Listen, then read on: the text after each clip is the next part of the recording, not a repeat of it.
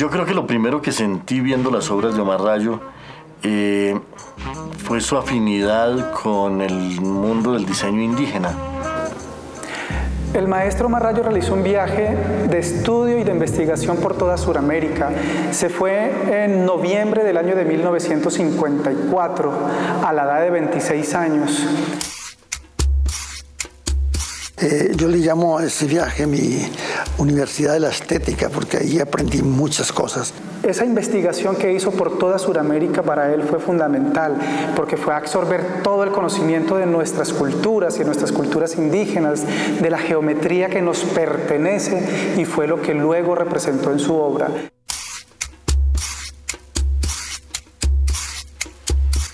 Cuando llega a Colombia se da cuenta que su su, necesidad nómada lo obliga a buscar la manera de ir, salir otra vez, y es allí donde va, América del Norte, a México. Comienza a experimentar y todos los pequeños objetos que encontraba los coloca encima del papel. Hace que pase el torno, ¿no? la, la manivela del torno, y descubre que al otro lado había aparecido lo que él va a llamar el intaglio. Pues yo fui a una galería que me recomendó mi profesor. Y cuando vayas a Nueva York, consigue esta galería, veas a visitar a este señor que se llama Silvan Cole. Y dile que va de mi parte. Y para gran sorpresa, este hombre se quedó absolutamente sorprendido con mi obra y agarró el teléfono y llamó al, al eh, curador de gráfica del Museo de Arte Moderno. Pues cómo sería la sorpresa que compró 12 piezas para el Museo de Arte Moderno. Bueno, él ha tenido una relación con, con, el arte mundial y con el arte norteamericano, sobre todo desde muy temprano. Algunas de sus obras se volvieron verdaderos íconos del arte en los años 60.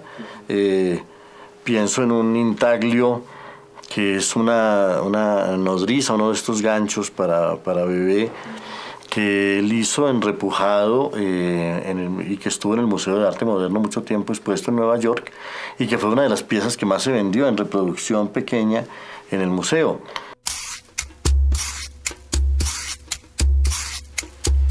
Creo que para él tiene una importancia protagónica el color en su obra.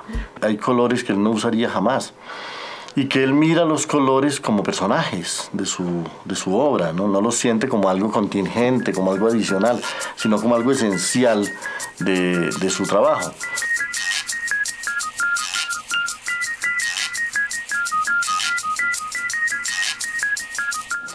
Y para mí cada color tiene una, una metáfora, cada color tiene un, un, una historia y cada color tiene una referencia siempre del mundo real.